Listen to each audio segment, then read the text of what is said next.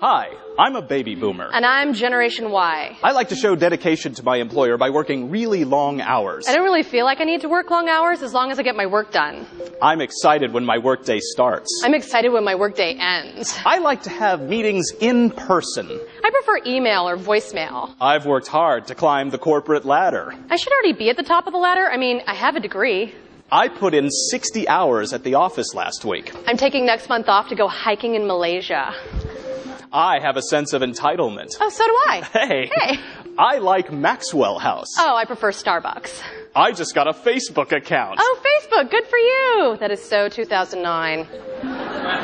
I like competition. I prefer collaboration. I've heard of that. Oh, now he doesn't know this, but I plan on getting his job when he retires. She doesn't know this, but I'm never going to retire.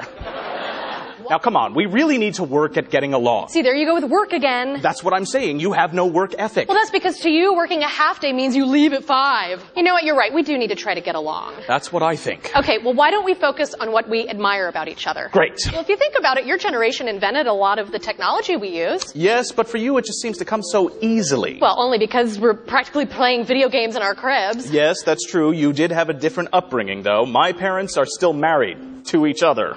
Yes, self-esteem. We thought that was very important, so we tried to pump your generation full of it, which is why for everything you got a participation ribbon. You know, we could use a little more of that here at work. I mean, does anybody ever say, hey, thanks for coming to work on time. Good job getting your work done. No, it's just like it's expected or something. It is by those of us with a work ethic. There you go again. Hi, I'm a baby boomer. And I'm Generation Y. And, we're, Generation X, and we're stuck in the middle of all of this.